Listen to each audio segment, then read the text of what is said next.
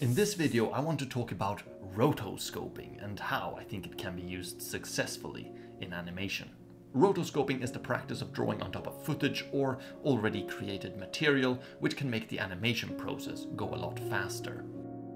Now, let's address the elephant in the room. A lot of people will tell you that rotoscoping is a form of cheat or a fraudulent way of animating.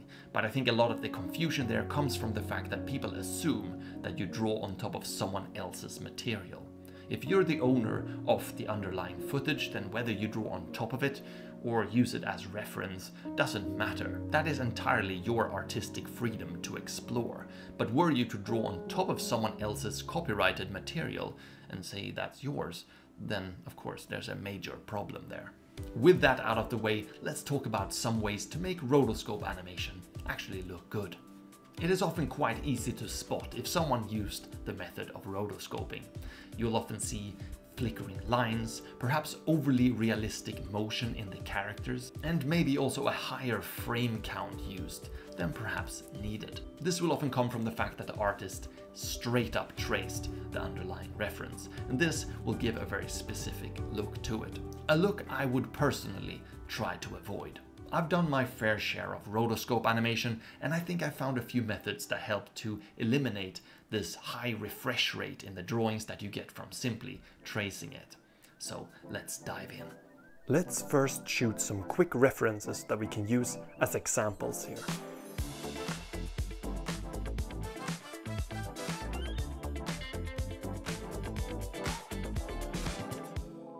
I think these will do. Tip number one. If you're drawing over live action footage, remember to still think like a traditional animator and use your illustration skills to its maximum. Use the footage as a very good reference, but don't let it fully direct your drawings.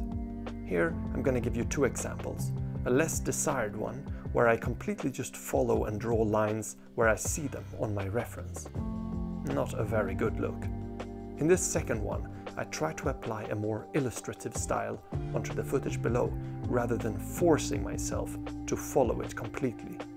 Let's not just trace it, but actually draw it like we would if we did not have the reference below. Make sure to leave out a lot of what you see. Describe it with as clean lines as possible.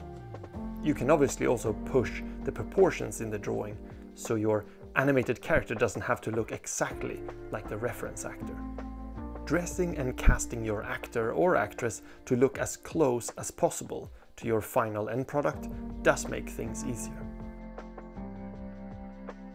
Since we also have to draw several frames to make this move, I would really pay attention to how these lines stay consistent throughout. To achieve this, start by defining one frame, like we've done here, and then focus on individual elements as you flick back and forth between the frames use the footage below like you would use a rough pass in a normal animation pipeline. It is a good direction for where each element goes, but not one set in stone.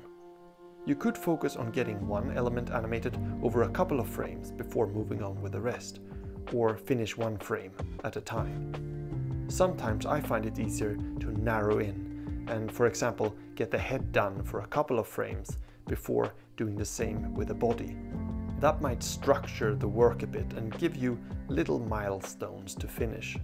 It can be easier than having to draw full frames, one after another.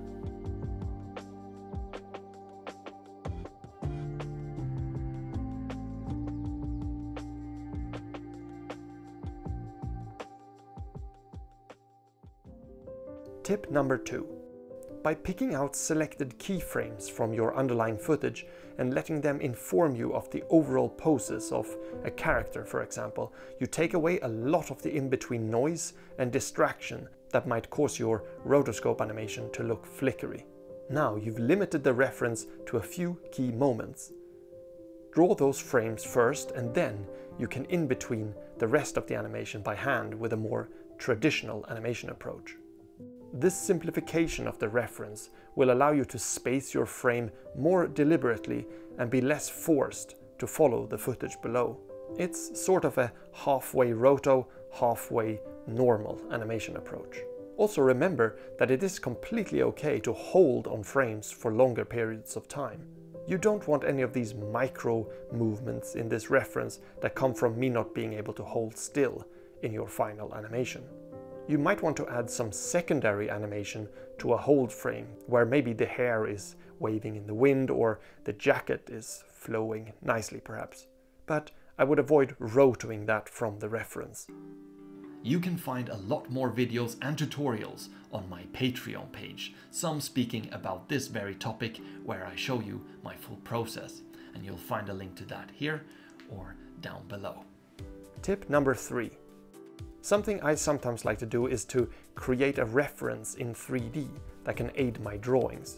By designing the reference in a way that only the useful information is there and none of the business in detail that live action footage provides, I have an easier time rotoscoping and applying my line work to such a reference.